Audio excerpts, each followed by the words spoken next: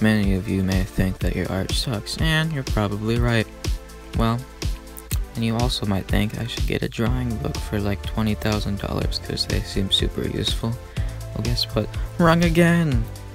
You know why? Because I have a how to draw video, episode 2. Boom.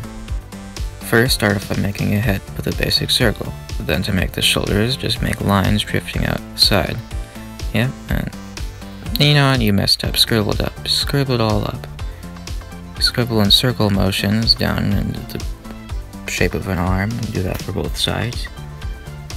Because, you know, whatever, and scribble up the middle, making a big old chest, scribble up the down body, and make some legs, scribble it up.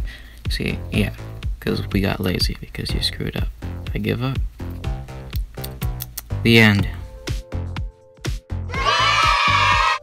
Psych nerd, you thought. Remember those scribbles? Yeah. just kidding. You didn't mess up very much.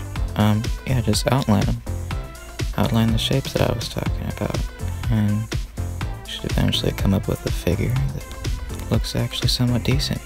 Just give it a better outline than the rough sketch that you made with the scribbles. This is actually a pretty good technique and may seem kind of odd at first, but it actually works out pretty well in the end as you might see from the rest of this video.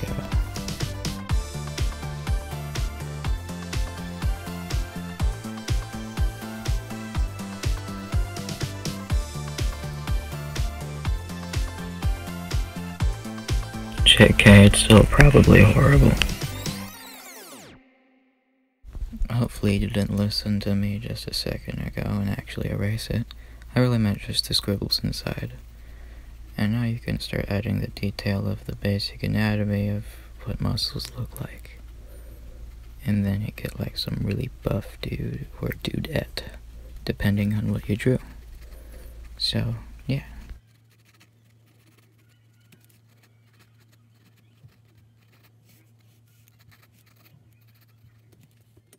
Great, after the detail you're almost done. So what's next you may ask? Well there's two steps. First, real quick at a face. And then add some weird crap. I'm gonna go with some wings. Cause like just why the heck not? I want wings on my creature and that's what I had. You add whatevs, but wings are pretty easy, so boom. Ta-da, you have your final image. It's so beautiful. Uh, oh, shit.